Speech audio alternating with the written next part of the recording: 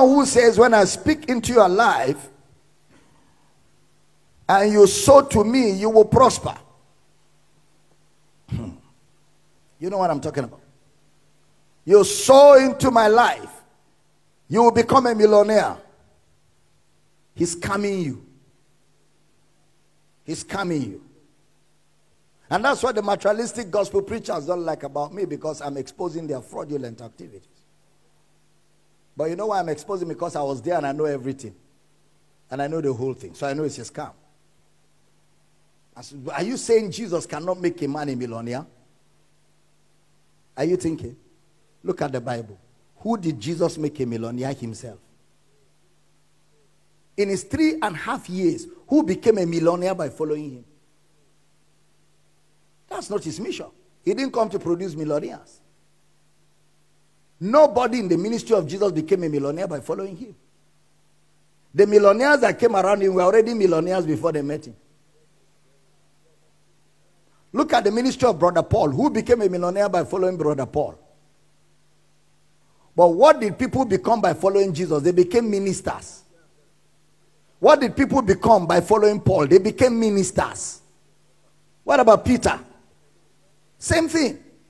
Jesus is the model for ministry. What he never did, no preacher can do it. If I'm teaching, say, I hear you. So we're not following Jesus to be millionaires. We're following Jesus to advance his cause on the earth. Can I be a millionaire? Why not? That's why he went to secular school. Your father paid school fees for you to go to school to learn a skill, to develop an art, to develop, uh, you know, uh, uh, uh, skills so that you can engage in the business world, whether you are a Christian or not, and make money. You don't multiply money by giving. You give as a responsible child of God who wants to support the work of your father on the earth. If you agree with that, shout a powerful amen. If you understand that, shout a powerful amen. All those preachers that tell you if you, ta- if you give into my anointing, you'll be a millionaire, they are the ones that become the millionaires. They are the ones that become the millionaires. They'll tell you there is grace upon my life that multiplies money. I'm a money multiplier. So if you're a money multiplier, why are you collecting my own? Let that grace multiply your own money now so that you wouldn't need my own again. Then you can be sharing your own to us. Hey, Hey, slap your neighbor's leg. Say, wake up and pay attention.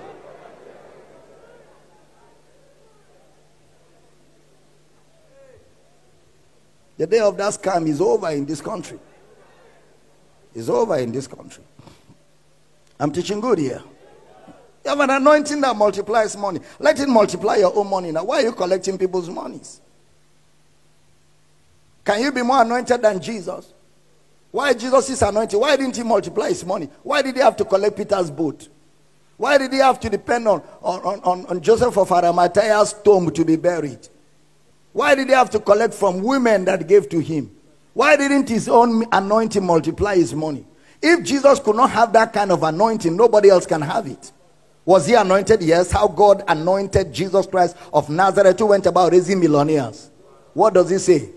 Who went about doing good so that you won't think the good is ambiguous. He now explains what doing good is healing all that were oppressed of the devil, for God was with him.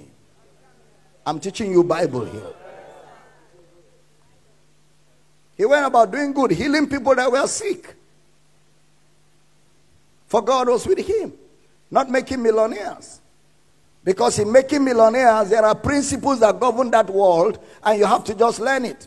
That's why Jesus will rebuke people and say, The children of this world are wiser in their generation than the children of light. Because the children of this world know how to apply the principles, while the children of light are in church doing tarry night.